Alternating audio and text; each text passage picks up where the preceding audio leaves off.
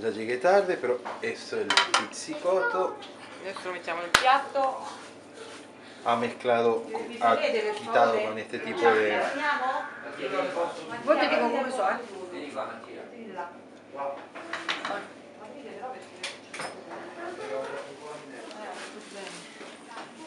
Ci vuoi peperoncino?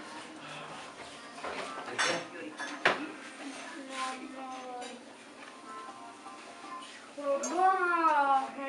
No, accende la luce, se no. Che cito.